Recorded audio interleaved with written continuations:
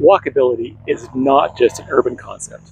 I'm here in a small town called Harvey Station, and there are a lot of towns like Harvey in New Brunswick which are pretty cool because this uh, this community, a lot of it's quite walkable. If you look behind me here, uh, you can see that we've got a, a, a, main street and we've got some stores around, and actually we've got a, a bank over here and a curling club over there. And the thing is about the walkability factor. Yes, uh, smaller towns are really dependent on automobiles, but there's a lot of good lessons here in terms of co-locating things, shops, businesses, other things that uh, that are close by that people can do a whole bunch of things all at once, one-stop shopping.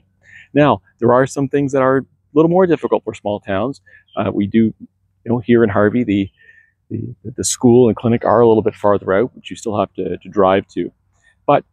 Again, a lot of good lessons for smaller towns, for urban centers in New Brunswick. If we think about how we can do better on co-locating some of these things so things can still be walkable, and they still are in a lot of small areas.